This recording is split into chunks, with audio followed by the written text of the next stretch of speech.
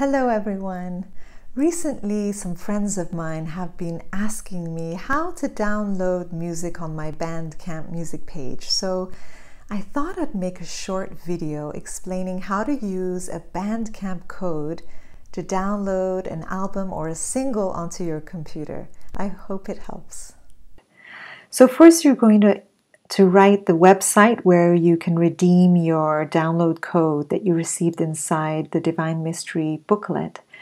So we're going to go to that website, music.elikamahony.com forward slash yum. Here you can input the code that you were given exactly as you see it inside your booklet. If you're not on my music mailing list, most welcome to join here. Press redeem here it says code redeemed now listen instantly. You'll see over here download so click on this downward arrow. You can choose what format you would like to download the album. So this is the lowest quality up to the highest quality. I'm going to choose the lowest for now.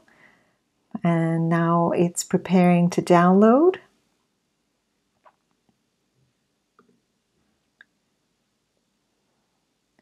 And here we see that it wants me to download as a zip file. So I'm going to save that zip file. It's going to go to my downloads folder. And once it has downloaded, it's downloading right now, I will be able to see that inside my downloads folder. So you'll see it's downloading right here in my downloads folder. I downloaded one earlier and here are all the songs as well as the cover of the Divine Mystery. Let me know if you have any questions and if you have any issues with downloading the music. I'd be very happy to help. Thank you for your kind support.